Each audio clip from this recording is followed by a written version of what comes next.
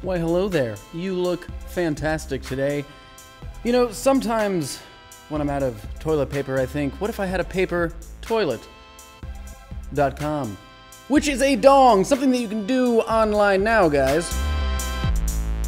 Boy, have I got a dong for you. You can't see it, but that was an eyeball pun. Try moving your mouse around. Look, it follows you, even if you go here, or up here, or here, or here, or here, here, here, here, here. Whoa, where did that come from? With all eyes on you, it's obvious that you're attractive. But if you're attracted to arachnids, check out spiders. On this site, your mouse is a spider, and its size depends on the position. The higher up, the smaller, and the lower, the larger. It's kind of relaxing. Oh no! An unidentifiable animal is trying to attack me. But if you know what it is, let me know in the comments. Like the eyeballs, it follows you wherever you go. Run, run! Oh, stop, please stop. Wait, are you gonna actually do something? All right, I'll just slowly, ah, slowly, excuse me. That's right, you walk away. Let's run away to ISS Photo Explorer. Over the last 15 years, the International Space Station has taken over 1.6 million photos, and you can see them on this site. It's really cool to see how vastly different the photos of Earth can look depending on where you right click. Select this icon for a larger photo and smaller globe. This one rotates to the current location of the ISS and takes you to the photo nearest Hovering over each of these gives you details about missions, like mission ISS 006, which lasted 154 days and captured 43,436 photographs. Now let's photograph into vortex shedding fluid simulation. Vortex shedding occurs when a fluid flows past a bluff, which in this case is the sphere. This creates alternating downstream vortices, and these depend on the size and shape of the object. So you'll notice a difference when moving the sphere around versus when you just click. Now I won't force you to go to physics experiments, but I will recommend it just like it was recommended to us on the Dong Twitter account by at SpiceT1. It lets you manipulate factors that affect the movement of the square. The lower the gravity is, the more it floats around. And with too much friction, it will barely move at all, but when you lower it and increase the elasticity, it happily bounces around like a cute little wandering tattler, or a streak-backed oriole on bird sounds. The three creators of this site have collected thousands of bird sounds and compiled them on this website. You can type in a type of bird in the search box, but if you don't have one in mind, just scroll over them. There's nothing more pleasant than the call of a cackling goose,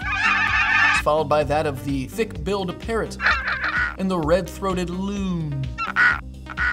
And listen to this.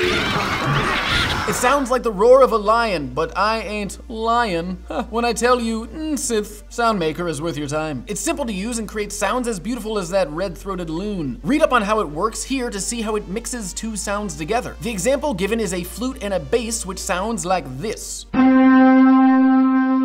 But to create your own hybrid of sounds, click play and choose from each category. Haven't you always wanted to hear a cat mixed with an organ? Sliding this scale will determine how much organ you hear or how much cat. And you can experiment with the notes down here. Open your ears wide for this.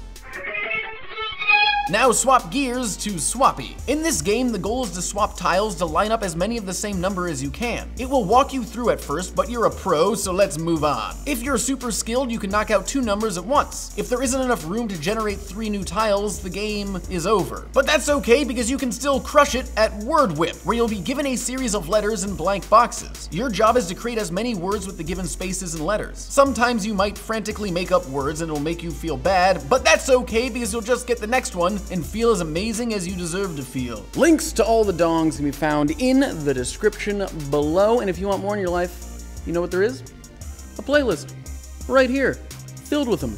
I'm, uh... I'm gonna go stare at you for about five seconds. And as always, thanks for watching.